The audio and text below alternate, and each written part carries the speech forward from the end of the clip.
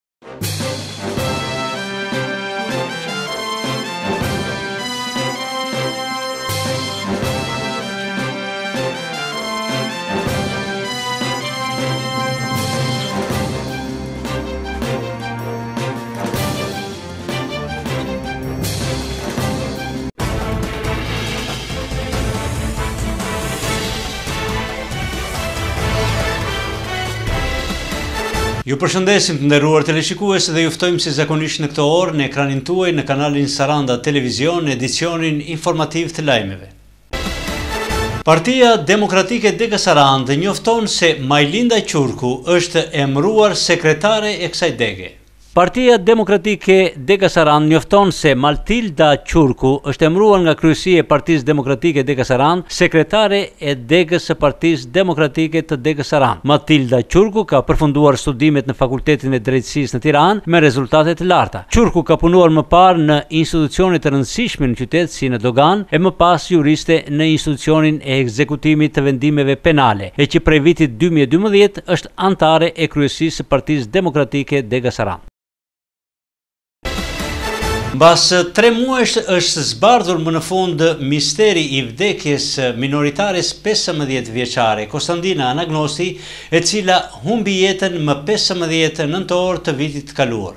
Prokuroria e Përgjithshme ka marrë në dorëzim dosjen e vdekjes së gjashtëmbëdhjetë vjeçares Kostandina Anagnosti e cila humbi jetën më pesëmbëdhjetë nëntor të vitit dy mijë e katërmbëdhjetë. më parë në rrethana enigmatike. Ka qenë vetë i ati i vajzës, Jorgo Anagnosti, i cili ka takuar kryeprokurorin Llalla me një sërë dyshimesh që ai ka zbuluar në dosjen e prokurorisë dhe mjekut ligjor. Sipas Anagnostit, i dyshimtë dhe i pazbardhur nga policia është harku kohor prej tre orësh që vajza ka qëndruar me shtetasin S. Papa ndërkohë që në mjetin e tij më pas janë gjetur edhe pranga e material bimor i paidentifikuar. Nga ana tjetër mjeku ligjor ka zbuluar dëmtime në mitrën e vajzës si edhe një age në afërsi të brylit të saj e cila rezulton mos të jetë vendosur në spital. Sipas S. Papës, ai thotë se jam takuar me zotin Adriatik Llalla për ta vënë në dijeni për disa fakte tronditëse që personalisht i kam zbuluar në dosjen e vajzës sime, vetë z. Llalla më ka drejtuar te prokurori Adnan Xholi, i cili ka dëgjuar pretendimet e mia dhe më ka siguruar se dosja do të rihetohet nga vetë ai. Për këtë,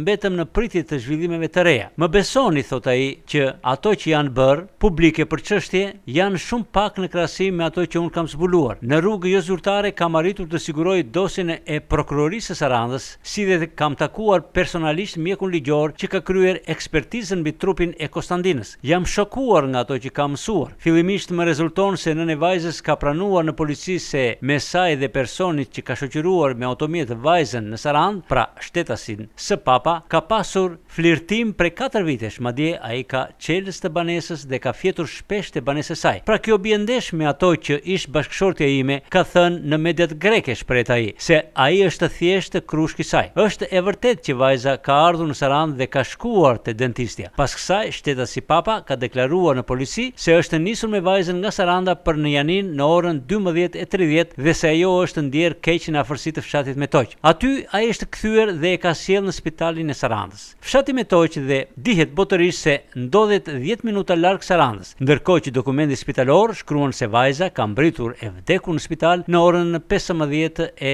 tridhjetë. Nëse këtij personi i janë dashur, nuk po them, tridhjetë minuta, por një orë e tridhjetë minuta për të shkuar e për t'u kthyer nga Metoqi, atëherë është edhe shumë distancë e madhe kohore që as nuk justifikohet dhe as nuk është marrë mundi të zbulohet nga policia se çfarë ka ndodhur gjatë kësaj kohe. Por edhe sikur të jetë siç thotë policia se vajza është ndjerë keq në afërsi të fshatit Pllak, Bie ndesh me ato që thotë ai, prapë asgjë nuk justifikohet në distancë kohore. Procesverbali i oficerit A. Musaj, mbajtur nga këqyrja e mjetit të S. Papës, thotë se aty janë gjetur edhe një palë pranga metalike, një sasi materiali bimor, një medikament e sende të tjera të cilat ngjallin dyshim rreth këtij personi. Mjekun ligjor, thotë Papa, e kam takuar personalisht në Tiranë, por kam edhe ekspertizën e tij. Fillimisht dua të them që mjeku ligjor ka konstatuar në gropën e bryrit të vajzës një vigon plastik me ngjyrë jeshile i cili është rezultat i ndërhyrjeve mjekësore për realizimin e terapisë intravenoze, por nuk është vigon i vendosur në spitalin e Sarandës. pasi aty është vendosur në dorë, mbi gishtërinj. Edhe mjeku ligjor pyet veten se nga ka dalë ky vigon jeshil. Nuk them që vdekja e vajzës sime nuk është natyrale, pasi ajo është vërtetuar shkencërisht, pra ka ardhur për shkak të hemorragjisë, por diçka tjetër e ka shkaktuar këtë gjë. Kam pyetur mjekun ligjor se përse e ka marrë mitrën e vajzës dhe ai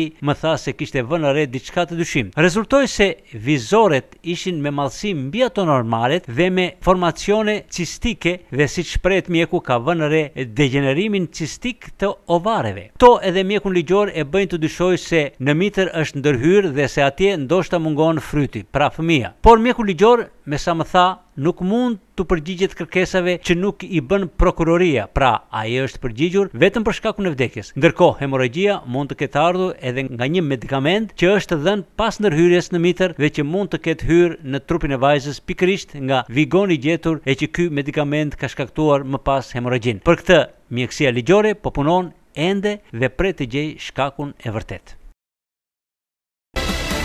Policia e Qarkullimit Rrugor të Sarandës njofton se shtetasi me inicialet GN është arrestuar për drejtim të një motociklete pa targa. Policia e Qarkullimit Rrugor të Sarandës njofton se është arrestuar shtetasi me inicialet GN, tetëmbëdhjetë vjeç, banor i fshatit Palavli të Delvinës, pasi u kap duke drejtuar pa leje drejtimi motocikletën e markës X-Meller pa targa.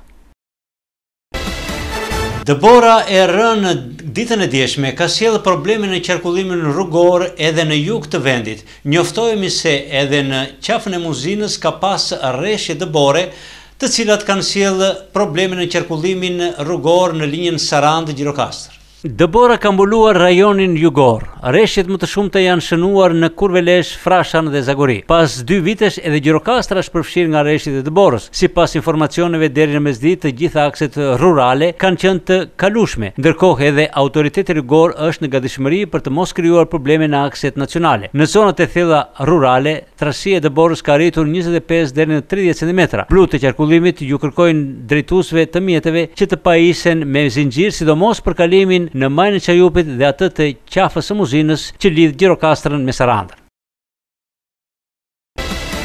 Në videolajmin e sotëm do të ndiqni një ngjarje të çuditshme, në Kinë në një nga fermat ka lindur një derr me fytyrë njeriu.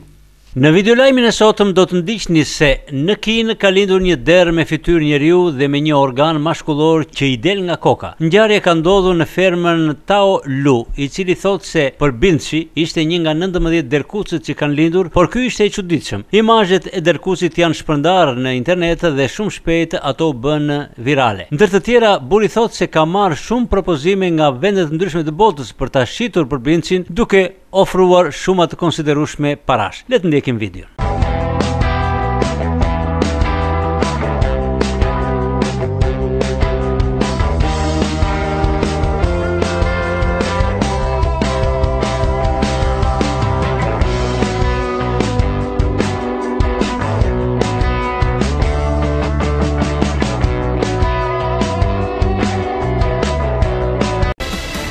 Nderuar teleshikues, ndoqët edicionin informativ të ditës, ju falenderojmë për vëmendjen, mirupafshim në edicionin e radhës.